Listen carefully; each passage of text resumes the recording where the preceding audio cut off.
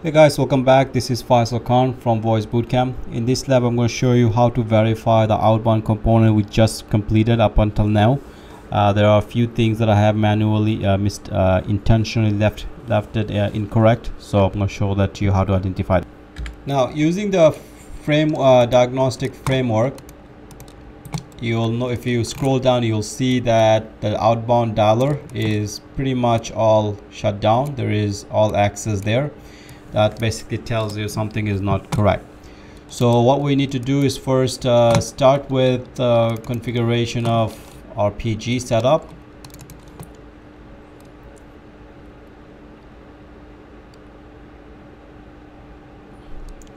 So dialer edit next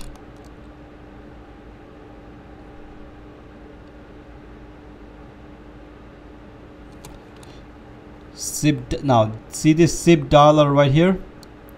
This SIP dialer should be the same name that is configured right into your configuration manager. This name right here which is we created at the uh, previous lab. So that should be the lab uh, name that we that goes here. Click next. Uh, this is the IP address 42027 so let's see if that solves the problem continue.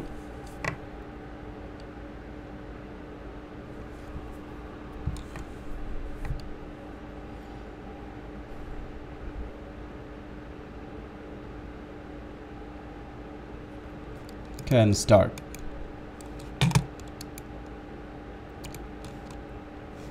Because I'm going to refresh that. I'm going to give it a few minutes to see if anything changes here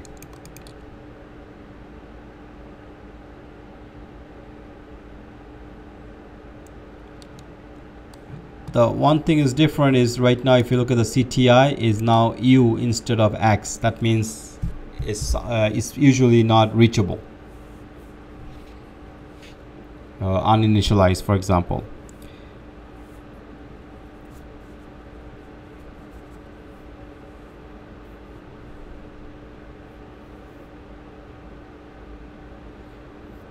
Okay so what we're going to do right now to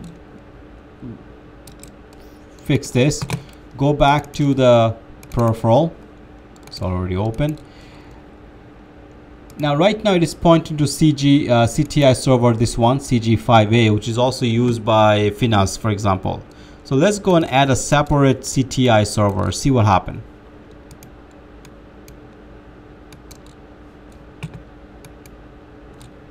It's gonna be 44027 I'm gonna copy that everything else with same IP address because it's a single single server. Okay it's still X X U X X. That means none of them are configured. Let's restart the service. And we're gonna rerun the dialer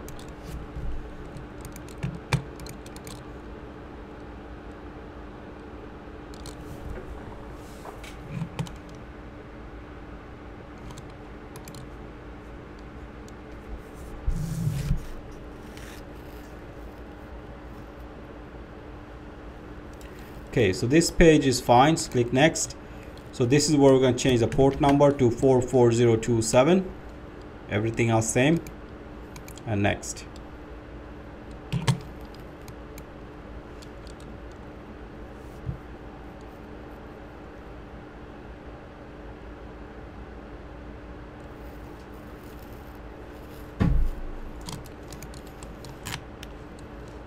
Okay so CTI 3 is there now.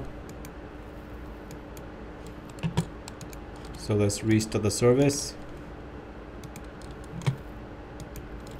Okay so the dialer is still taking its time. Voila. As you can see now the dialer is set to A. That means active. Configuration ma uh, campaign manager is active. CTI is active. These are the port number MR media ring is also active. SIP gateway, which is a router, is, is also active. If I go to the admin server, where my media routing is installed right here pg3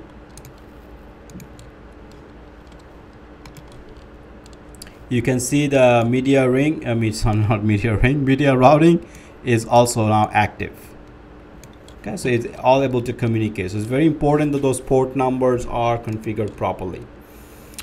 All right so the verification confirms that my dialers are all up and running. My media routing uh, is also up and running. What I want to verify one more thing just before we close this particular section is to uh, log in to the Finesse server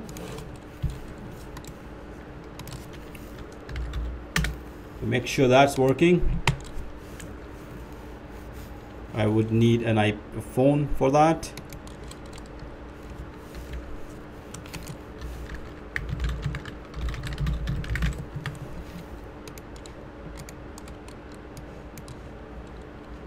Three one zero one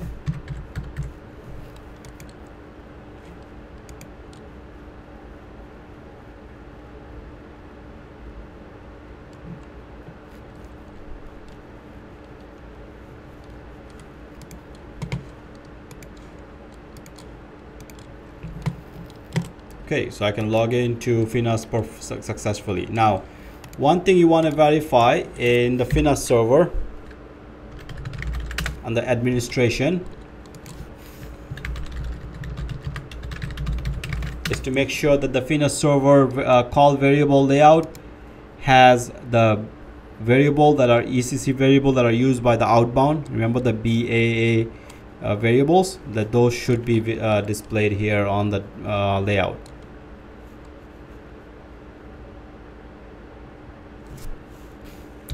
so so far I have the BA account number BA campaign. Okay so that's pretty much it. So the verifications confirm my dialer is all active